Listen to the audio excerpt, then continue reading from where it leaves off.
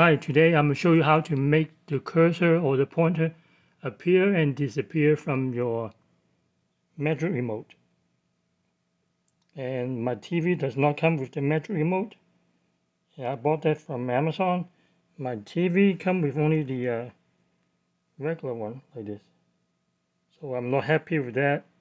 So I went ahead and bought this from Amazon. This Magic Remote has a scroll wheel right here focus it. And a circle here is the button you can press outside here the scroll wheel. This is a scroll wheel scroll up and down. So when I first install it and pair it, I don't see any cursor. What's, what's the point? I'm getting the magic remote.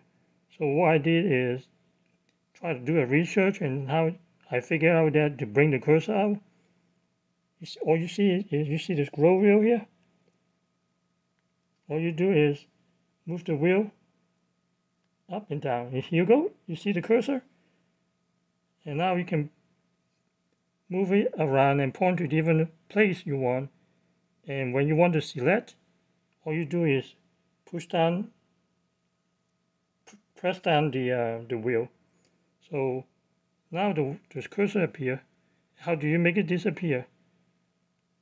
So let me show you how to make this cursor disappear. See the circle I saw earlier before? Right here. All you have to do is push the circle, press the circle down. And now the cursor disappear. To bring it back up, you either use the scroll wheel or now they upgraded the program and what you do is hit the home button right here. Push down the home button.